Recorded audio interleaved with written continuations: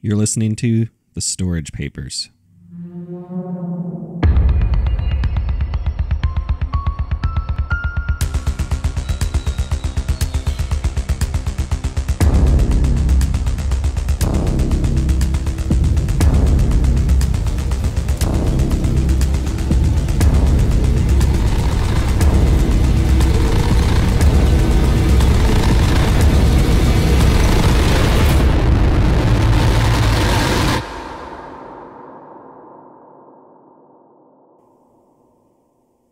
Episode 9 The Grinner.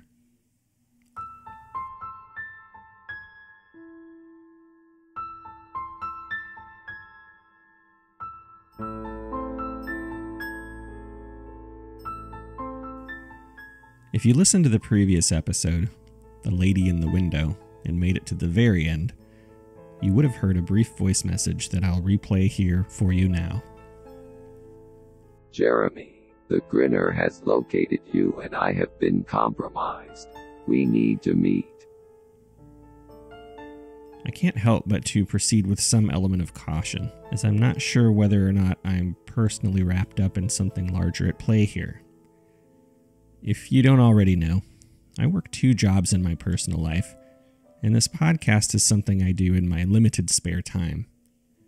In light of this voice message, I searched through a few boxes in the time I had available over the Thanksgiving break, and I found a few references to someone referred to as the Grinner. I ran across some notes with some additional familiar names on it as well. I believe it to be the very first interaction between Benjamin Scanlon and Detective Mark Anderson. You may remember them from episode 2, A Conspicuous Suspect. These notes predate the letter from episode 2 by just over a week, and it's unclear if they're related, however, the timing of the events may indicate they are. These notes look more official and are likely part of a submitted police report because they contain an actual address and contact information for Ben Scanlon, as well as locations where the described interactions occurred, which of course I can't really divulge on the podcast. That said, let's get to it. Notes regarding statement given by Benjamin Scanlon, Friday, March 5th, 2015. Mr. Scanlon arrived approximately at 11 a.m. this morning, claiming he was being followed by a, quote, strange looking character who had actually interacted with him the previous day. He said he experienced somewhat of a confrontation with the man, though nothing physical happened, and thought the whole experience had been rather bizarre. This was Mr. Scanlon's initial statement. I had just been visiting with an old friend who kind of showed up unexpectedly, and we had a brief chat and agreed to meet up later. After my friend left my home, there was a knock at the door no more than 30 seconds later.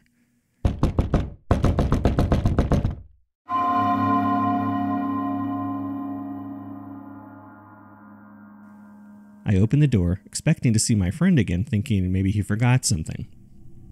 Instead, stood a tall, slender white man who looked very similar to a guy that I ran off recently. He was dating my sister, but I thought he was a bit younger. Still, the resemblance was uncanny.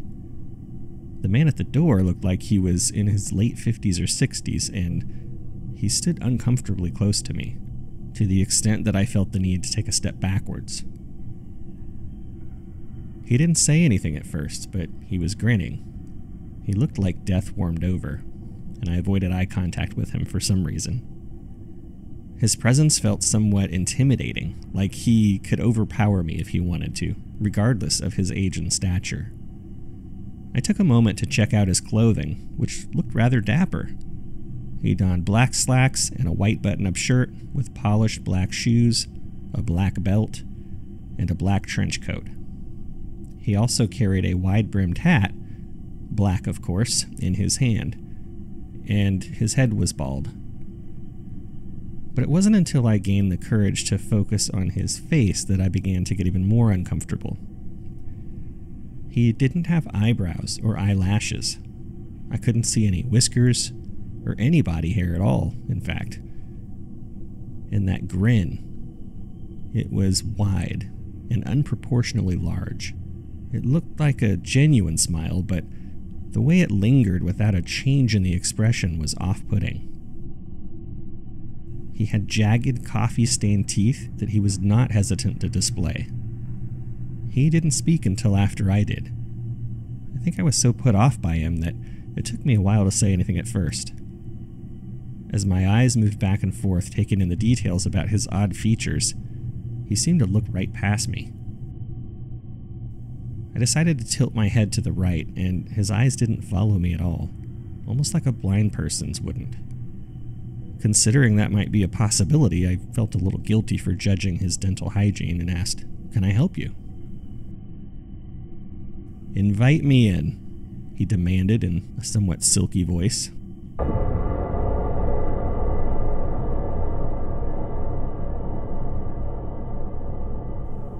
I'd been looking at his attire when he said this, but I'm not certain his mouth moved at all when he spoke the words. I glanced back at his face, and his grin grew even wider, as if a wider grin would somehow convince me to let him inside. Every hair on my body stood on end. For some reason, I was unable to verbally respond to him, and I was petrified. His eyes narrowed a bit, still looking straight ahead, but not directly at my face, and his grin didn't move. Invite me in, he said again with the exact same tone. Who are you? I asked. His gaze shifted directly toward me for a moment before he said the strangest thing. I hope I'm remembering it correctly. He said, The answer to your question is somewhat subjective, however, completely dependent on the choices you make during this interaction we're having, Mr. Scanlon. I didn't know what the hell he was talking about, but he knew my name. He went on. Much like the relationship of light and time, for example. Some believe the concept of time occurs in a linear fashion, with past, present, and future tense. His grin was still present while he was speaking, but returned to its full width when he paused. But when one realizes that an event occurring here couldn't possibly be witnessed at the same time in another solar system, no matter how powerful the telescope, hypothetically, well, then it all becomes relative, doesn't it? I was confused. He resumed his grin and squinted his eyes at me as if he were awaiting my response. I began to ask him what he meant, but he interrupted me, saying, It's relative, don't you see? You get to decide if I'm friend or something else. Invite me in. He maintained his grin while glancing over my shoulder, which is easy for him because he's at least three inches taller than me, and I'm six feet even. I turned around to see what he was looking at. My laptop was open on the couch, which seemed to be what he was interested in. I turned to face him again, and his face was even closer, still with the wide grin, but his teeth were separated like he was about to take a bite of something. I could smell his breath, which didn't smell like food. Whatever this guy was eating was putrid. What will it be, Mr. Scanlon?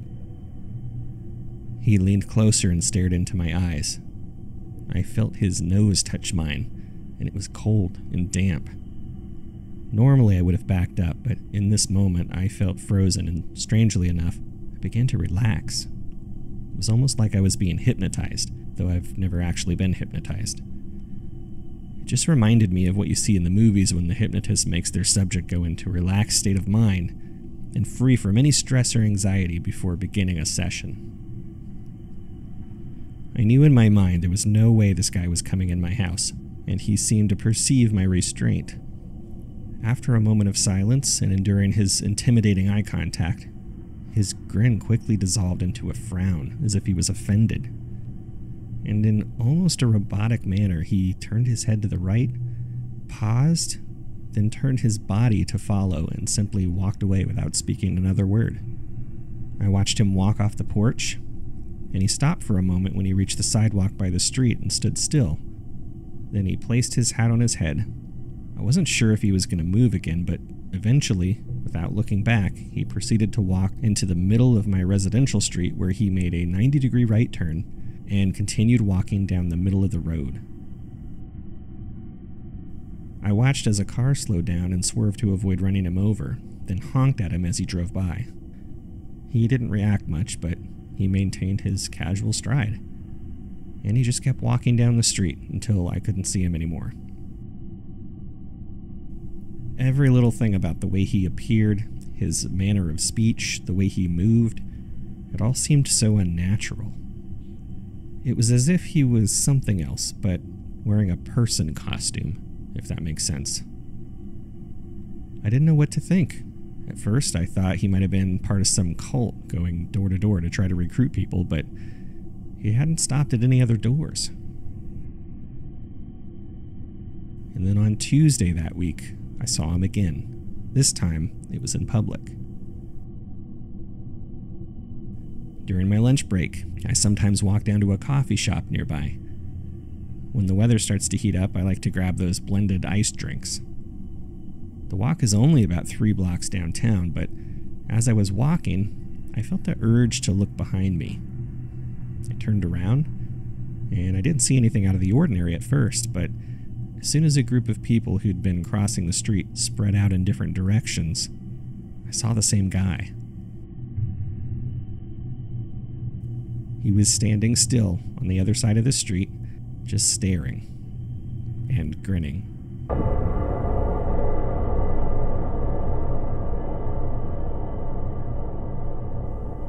I walked quickly to the coffee shop, which was very crowded, thinking Maybe being in a public place would be the safest thing I could do. I kept my eye on the window looking out front, and eventually I saw him walk by. He was in the middle of a crowd of people, each walking various paces, but he was going slower than everyone around him. I watched as he walked from right to left and eventually out of view. He never looked in the window, and I thought I'd gotten rid of him. I told myself if I saw him one more time, I was going to go to the authorities and then I saw him again this morning. Every Friday, someone in our office picks up some kind of breakfast food for the office, and we rotate duties. Well, this week it was my turn, and I decided to pick up donuts. The donut shop near my house opens around 6 a.m., and if you get there right when they open, you're guaranteed to get a fresh batch.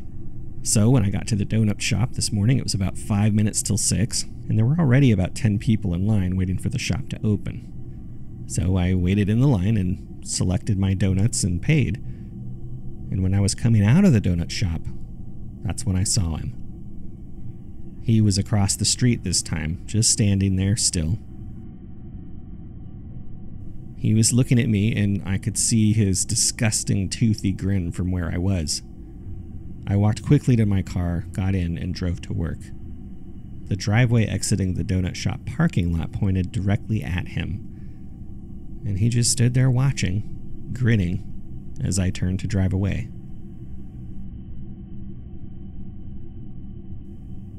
At this point, I'm not sure what to do. I'm concerned for my safety, and I've started carrying a baseball bat in my trunk in case this guy threatens me. But I wanted it on record that this guy's been following me, I won't hesitate to defend myself.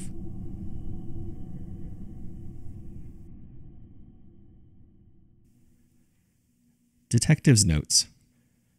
I sent Mr. Scanlon out to the front desk to wait while I attempted to make an appointment with the sketch artist. Luckily, he'd been in the building already and could fit him in after lunch today.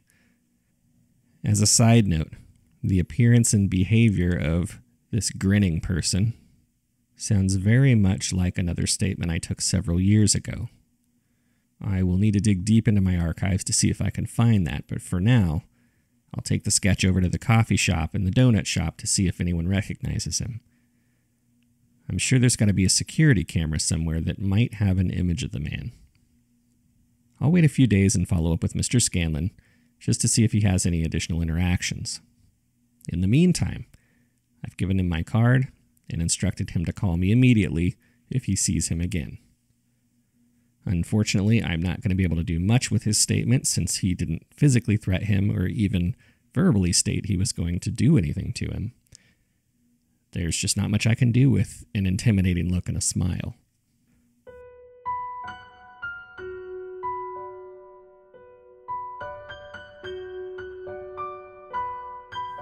So, what's interesting is now that I found these notes, as well as a letter addressed to Ron, I'm fairly certain at this point that Ron may be the original owner of the storage shed that I won at auction. Since I don't have a last name for Ron, I'm wondering if I can find Detective Mark Anderson working locally. I can also try finding Ben Scanlon, assuming he lives at the same location, since his contact information is here.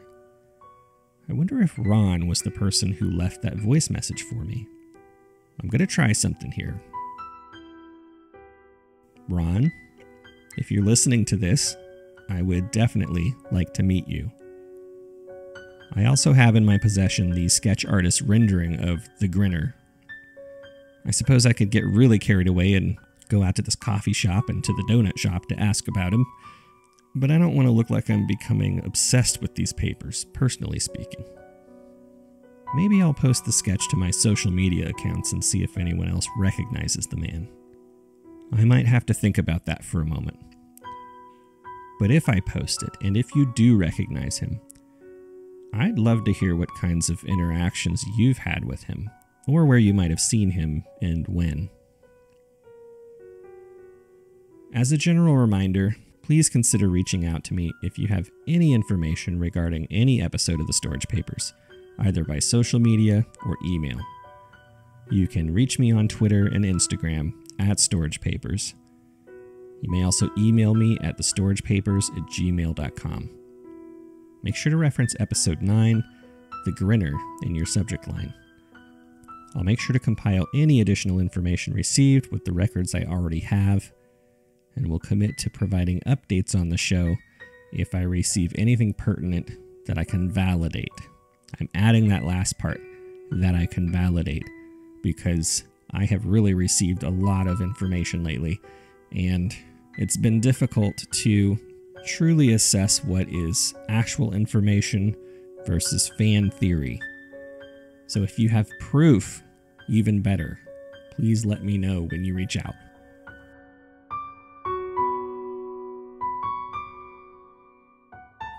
Oh, and one more thing. If you do end up leaving me a message, as some of you already have, please, by all means, let me know if I have your permission to share your messages on this podcast. Those I've received that I think may be pertinent, I definitely don't want to get any hot water for sharing without your permission. There's been a few that have definitely piqued my interest, and I just wouldn't feel right about sharing them without knowing I have your permission, especially when I look back into records and can validate those things on my own. My goal with this podcast continues to be making this information known, so please share this via social media so these accounts can be spread. Hopefully, the more people that hear these accounts, the greater the chances that we may be able to unravel some of the mystery here. I'm also under the impression, based on what a lot of podcasters say, that writing a review on iTunes or any podcast streaming platform can increase the visibility of this show, allowing for a greater chance for other podcast listeners to find it. For the sake of making this information public, I highly encourage you to do so. And I'm always here if you need some assistance. I'll be back in two weeks with another statement for your review.